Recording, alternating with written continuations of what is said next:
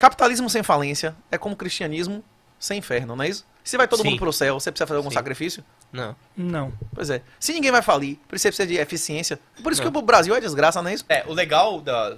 Pegando o, o gancho aí da Bingex, o legal é que realmente, cara, os traders tu consegue ver a performance do cara, o gerenciamento do risco do cara, quanto ele entra, qual a, a Não, e, e o fato faz. é que legal você não mesmo. precisa. É é uma chamada de call. Aí você ah, recebe o aviso, não vê. Dois minutos depois, todo mundo que recebeu a porra antes de você já, se, já, já Sim. pegou a porra antes. É isso. Você não. É, é passivo. Você. lá, Eu quero que. Eu quero que 1% do meu patrimônio. Eu adoraria ter uma plataforma que eu deixasse 1% do meu patrimônio na mão de melão. Não na mão de melão pra ele fazer o que quiser. Copiando o que melão fizer com o dinheiro dele, dentro das regras pré-determinadas ali, e que ele só vai receber depois que eu tenho a minha porra de meu lucro, não é isso ou não? Sim, isso, eu adoraria. Porra, Fausto Botelho trouxe análise técnica ao Brasil antes de eu nascer. Sim. Adoraria o método dealer dele lá, copiar 1% do meu patrimônio. Sim, não é é não? Botar o cara do criptomaníaco, botar o formador de mercado, botar um monte de caras. E quando algum começasse a dar merda, de não, tira essa porra daqui, diminui aqui É. a exposição, não é isso não? sim. É. E aí, Porra, o tu, tu pega uma performance média de bons caras do mercado e, pô, tem até um rendimento. Não faz Perfeito. Markowitz, não é isso? Perfeito. Diversificação pode reduzir seu risco sem reduzir o potencial de ganho máximo, não é isso ou não? E o cara não toma o risco Não é com- só com o teu dinheiro, né? Ele toma o risco com o dinheiro dele. Claro. Então ele vai querer E o que o acertar. Renato colocou, né? É. Ele só tem retorno responsabilidade. se ele tiver lucro na operação. Perfeito, Desempenho, né? perfeito, Senão perfeito, ele só vai Perfeito. perder copiador ainda, né? perfeito. Bom, é, a gente começou trocando uma ideia ali, Renato, sobre o teu currículo.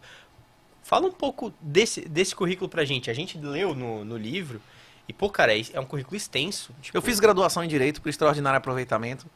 porra, Fiz, é foda. fiz, fiz pós no mesmo na faculdade lá na Federal da Bahia, que eu já tinha, eu já dava aula, eu fui monitor, fui tirocinista, fui substituto de comercial lá, e aí fui fazer mestrado e pós-graduação de comercial. Comercial é sociedades, governança, é o que a gente tá conversando aqui, títulos Sim. imobiliários, Sim, não é sim, isso? Isso.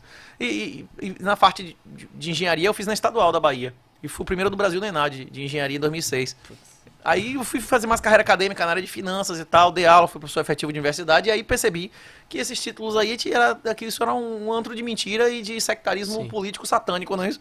E então tu foi meio que red pilado antes de conhecer o Bitcoin, Assim, Renato? Eu entendi que o Estado. Rapaz, qualquer um que sirva, que sirva forças de segurança no Brasil seis meses vai ver que a aplicação da lei não é a regra, não é isso? Sim, Rapaz, aqui é bem diferente da Bahia. Viu? Rapaz, aqui você olha pros lados e ó, esse terreno aqui, se fosse na Bahia, estaria invadido, viu? Aquele terreno aqui na Bahia, estaria invadido, né? Tem uma favela aqui, não é isso ou não? Hein? Não, Santa? Catarina é uma. Não, é uma Santa. Catarina Vocês estão É. num lugar aqui realmente que é uma ilha, viu? Vocês não, rapaz, a maioria das pessoas, se não saiu daqui, o cara não tem noção do que realmente é, o, Bra- é esse país, né?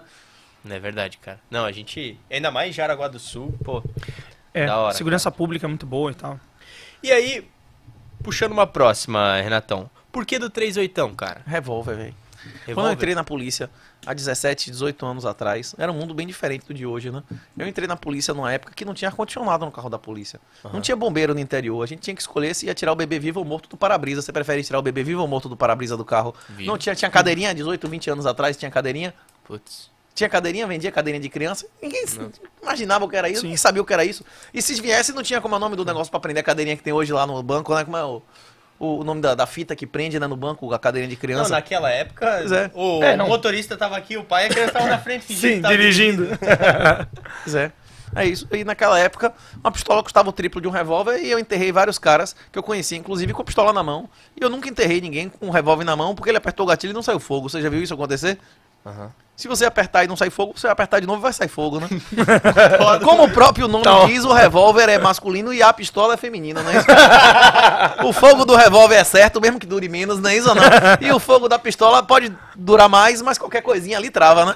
Entendi. E se travar a arma na sua mão, geralmente você morre, né? Você precisa de 10 ou 20 vezes mais treino na pistola pra ter uma proficiência que você tem revólver, né? Sim, sim. Sim. Aí minha preferência É, de porque travou revólver. lá o quê? ajeitar. É, esse revólver não tem tempo, não foi, aperta de novo e vai. Às vezes você aperta três vezes, aquela que não foi, tomou outra mastigada e madeira, não é isso ou não? não acontece isso de na primeira não ir na segunda aí? Ou não? Pois é. É, é isso. Eu comprei um, um 838 de 6,5 polegadas, aquela arma do Coringa, né? Do filme, e andava com ela e as pessoas não sabiam o meu nome, mas sabia que era o cara com um revolvão, né? 38. Com 38. Não era Renato ainda, era 3 Não, ninguém sabia que era Renato. Dizia, rapaz, aconteceu assim, assim, não sei o quê. Aí, quem era o cara e tal? Rapaz, não sei, mas tinha um revolvão. Tinha um... Que da hora. Bom, Renatão, é, então, já entrando ne- nesse ponto aí, cara. Você é perito criminal. Isso, sirva 17 anos. Como que é ser um perito criminal, cara? Tipo, hoje, é, eu imagino que a maior parte do país te conheça por conta é, da ética, da moral, do Bitcoin, da, de red pilar a galera, mas como que é esse o outro lado do Renato, o Renato perito criminal, cara? Como é que é ser um perito criminal? Rapaz, eu tenho muita gratidão à administração, ao serviço público. Eu sempre tive vocação de ser policial. Inclusive, fiz CFO, fiz o concurso, a prova do CFO para servir. An- Antes de entrar na civil, eu tinha feito prova para entrar na, na PM. Eu, eu sempre tive vocação para ser policial. Agora, isso não é para a maioria das pessoas. Uhum. A maioria das mulheres que, que são forçadas a se comportar como homem acontece exatamente o que está no universo 25. A mulher é desensibilizada e, e ela perde as propriedades de mulher. É muito difícil, esse serviço não é para todo mundo, é terrível. Não é legal, é ah, interessante, rapaz. Você trabalhar na Bahia, nos lugares onde eu trabalhei, é muito duro. Mais de, mais de 15% do meu curso de formação morreram. Morreram em estrada, com acidente, câncer em decorrência de intoxicação das coisas tóxicas lá de laboratório. Isso não é um serviço bonito, não, viu, velho? É um negócio que deixa sequela física e mental, viu? Aqui, ó. Não tá vendo a cicatriz? Quê? É isso, queimadura, corte, tiro, enterrar broda, não é isso? Putz. Que aconteceu, inclusive, em Gandu, deu bater papo com o carcereiro lá, no dia seguinte buscar o corpo do cara, não é isso? O cara diz, é, eu tô precisando tirar um atestado, dar um jeito de sair daqui, preciso de uma remoção. E no dia seguinte ele recebeu a remoção dele, não é isso? Putz. O quê? Só que não é remo- muito que o cara queria. O quê? É, Putz. não sei, se ele tiver Jesus no coração, né, morrer é lucro, né? É verdade. Como diria Paulo, né? O quê? Viver a Cristo, morrer a lucro. Morrer a lucro. E João foi o único que morreu de morte natural, né? Sim. O mais De amado, né? ilha. Mas é, é melhor do que crucificado, né? É, E aí sim, com 90 cabeça anos, que hein? É. É isso. É, honrar pai e mãe pra prolongar os seus dias. O João deve ter honrado o pai e a mãe dele e ainda teve que adotar Maria depois, não é isso? É. Ele, no- no- a história de Jesus começa e termina com a adoção. Ele ordena que ele adote a mãe e, e se pra a cum- ser cumprido integralmente todas as previsões, prolongou os dias que morreu com mais de 90 anos, não é isso? É Grande verdade. Joãozinho. O quê? Esse, esse querido, né? Jesus mesmo falou, né? Pô, e se eu quiser que ele não morra? E aí? É. né? É. Bom, é, então, cara, o Renatão Red pilou antes mesmo do BTC, cara. É. Caraca. Eu precisei do Bitcoin, cara, pra pegar e olhar pra Não, o juro gosto. negativo eu compreendi antes do Bitcoin. O juro negativo, de, de- a- a- o- inclusive tá num bloco Gênesis, né? Sim, a manchete lá. é, é- é um, é, é um diagnóstico de juro negativo, né? Inclusive, o, o jornal do bloco Gênesis fala que Israel pela segunda vez se retira de Gaza, né? Sim, Sim. tá lá. Aham. E vai se retirar a terceira, né? E vai continuar mesmo, mesmo tudo de novo, Aham. se não fizer recolonização, se não tirar aquela galera de lá e mandar pra um país islâmico, né? Caraca, cara. Ô, Renato, e isso, ele. O Isso, quê? isso vem de uma decisão, assim, que a gente não tem controle. Dessa questão dos juros e tudo mais. Tu acredita que o, todo ajuntamento, todo grupo de pessoas precisa de um líder?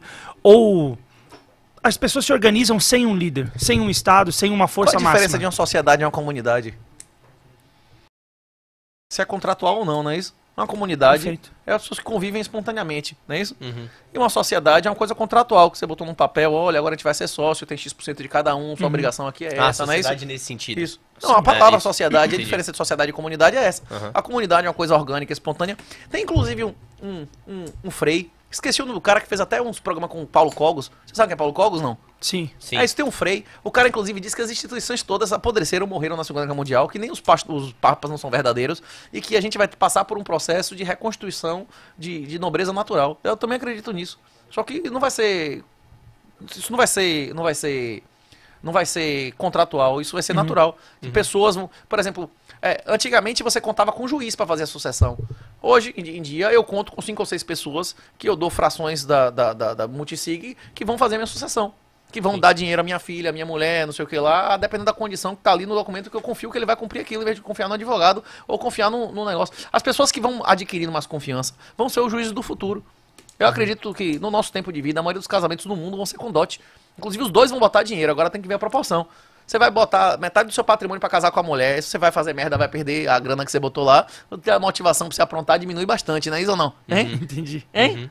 Entendi. Você prefere que quem vai julgar sua, sua- seu divórcio ou a, a- a- a- como é que chama? A guarda de seus filhos no futuro seja um juiz feminista ou a autoridade religiosa que vocês escolheram pra casar vocês? Autoridade A religiosa. autoridade religiosa. Esse novo Código Civil aí é, é, é- é divórcio unilateral em cinco dias, não é isso? Não tem isso lá? Você vai Sim. receber um papel e tá divorciado. Você não marido de sua mulher em cinco dias, não é isso? Inclusive, tu comenta um- uma, uma questão de, tipo assim, de o essa- casamento, a traição ou o divórcio ser crime, né? Algo nesse sentido, não é? se- ó, é. Capitalismo sem falência é como cristianismo sem inferno, não é isso? Se vai todo Sim. mundo pro céu, você precisa fazer algum Sim. sacrifício? Não. Não. Pois é. Se ninguém vai falir, você precisa de eficiência. Por isso Não. que o Brasil é desgraça, não é isso? Sim. Essas empresas aí, é- é- inclusive nos Estados Unidos é verdade. Pô, isso É é, uma frase muito cara. O- a Micro-. A É Microsoft é, uma invenção finan- é uma invenção jurídica, não é uma invenção de tecnologia. A Microsoft existiu porque o pai de Bill Gates era advogado e teve a sacada de registrar o negócio com o direito autoral que durasse o tempo de vida do cara, não é isso? É mais quando você. Quando é mais vantagem contratar advogado e lobista do que engenheiro e, e- e- e- técnico, a- acabou. a- a- o negócio acabou. Você não vai pra lugar nenhum em termos materiais, virou uma disputa política. Tem duas maneiras de você obter riqueza na sociedade. A, man- maneira política, que é a violência, não é isso? Tomar dos outros, e a maneira econômica, que é a não violenta. Sim. Se- é, o Brasil ainda existe porque tem um caras como esse aqui que tá sustentando o negócio, não é isso? Sim. Na hora que o cara que, que, que tem ação da VEG, que tem imóvel, diz, ah, rapaz, eu não quero, eu não quero contribuir com, com o tribunal feminista, eu não quero. Eu não quero pagar por, por castração de criança, eu não quero pagar por aborto. Esse cara vai lá e compra Bitcoin. Na hora que.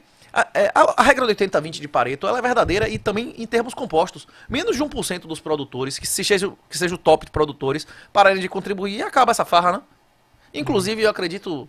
Até teve um menino Sim, do Geopolítica Mundial, é qual é o nome dele? aqui, Se comparado aqui, Sim. é né? Eu tenho um menino do Geopolítica Mundial que estima que o colapso de previdência, de governo e tal, acelerou entre 5 e 7 anos com esse eh, ocorrência no Rio Grande do Sul. Eu concordo, eu acho que por aí. Uhum. Se, se, se a previdência do Brasil ia deixar de existir de verdade dentro de 15 anos, agora é 10, não é isso? Sim.